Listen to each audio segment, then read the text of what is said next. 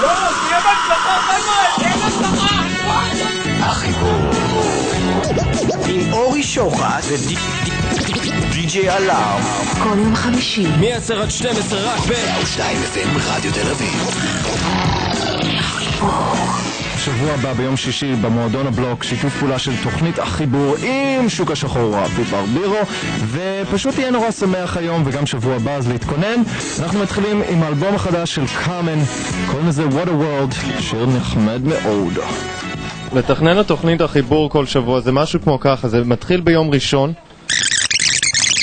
ועושים את התוכנית הכי מדהימה שיש ברדיו תל אביב. בסבל לא מנומס פה קל לי להחליף את הזהות שלי בבספורט. בימים זה ילד שקונה בקסטרו ובלילות רוצה עם מסור זקן ורסטו מאי, אני רוצה לשמוע ממך איך זה לעבוד עם שני הפסיכים האלה.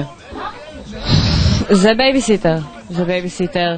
זה להזכיר להם כל דבר, ומי צריך לבוא, ולמה הם התקשרו אליו מלכתחילה, ולמה הוא לא התקשר אליי, ולמה הדלת פתוחה, ולמה הדלת סגורה. ו... אבל זה fun, זה כיף.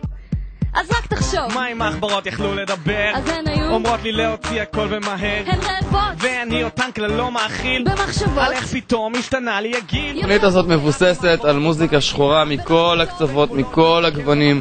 זה מאוד חשוב לנו פעם בשבוע ליהנות בטירוף, לתן בראש, ככה אנחנו עושים. כי אלארם פה בבית אז תגידו לו הו תגידו לו תגידו לו.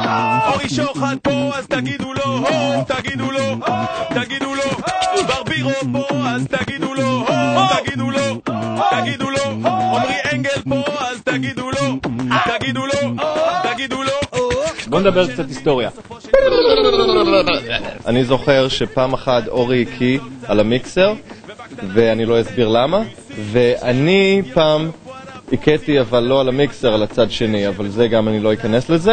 היה פשוט בעיה שהקי נתקע במיקסר. שוק שחור והחיבור כי אתם כאן וזה ברור. זה שוק שחור. והחיבור הבא במועדון הבלוק ארבע שנים לחיבור ארבע שנים לשוק השחור הפריטה של הלייב. עוד שבוע בבלוק. The good vibe is here, motherfucker, the good vibe is here